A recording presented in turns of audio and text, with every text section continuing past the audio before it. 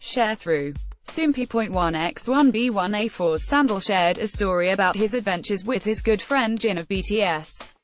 See also, Twice and Blackpink top weekly Gaon charts Sandeul and Jin recently traveled together to Wolmido Island, a small island near Incheon, and Jin posted photos on BTS's Twitter from their trip. Sandeul was asked by a fan during a recent broadcast on Neighbors V Live if he had fun on the trip with Jin.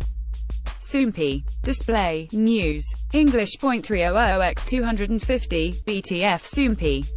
Mobile. English .300x250, ATF Sandeul laughed and said, the two of us are both scaredy cats.